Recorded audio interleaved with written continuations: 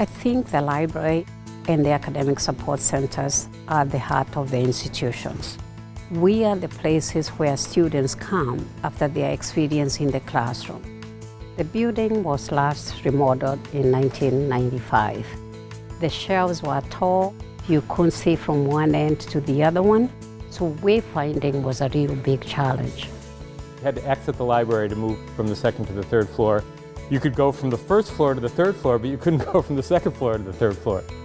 Students found it hard to find us.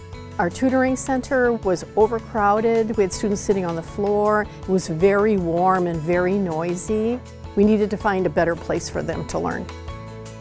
The process was inclusive of all the constituents who were going to be in the building. They did a really good job at asking about our needs, down to details like about furniture.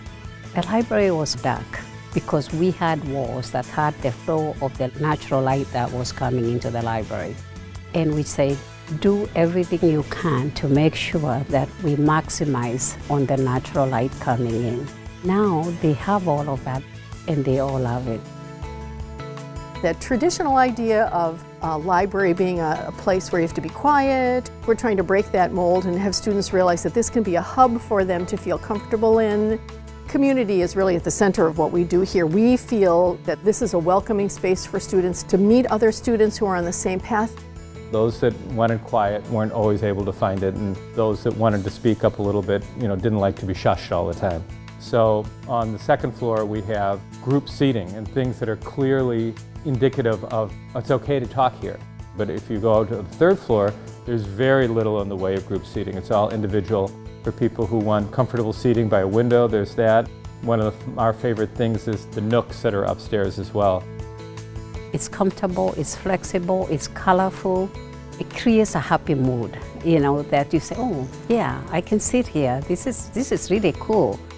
In a new space like this, you wanted a space that stood out, that people would come into and say, you know, wow. That was very much accomplished for not only the students, but for the people that work in it as well. We recognized straight away this is a library, and that's the primary function.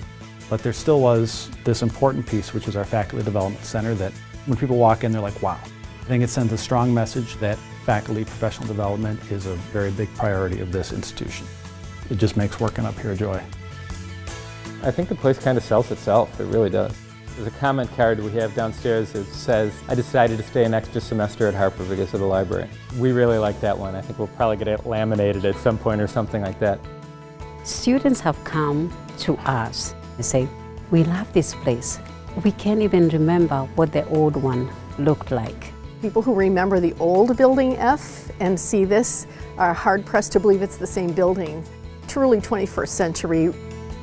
Working with Pepper Construction and working with Legat Architect, we couldn't be happier. I believe Legat and Pepper really did a good job at soliciting our input and meeting our needs. It was such a pleasant surprise when we first saw the space. When we saw the blueprint, and then we came and saw the space, I was like, this is exactly what we envisioned.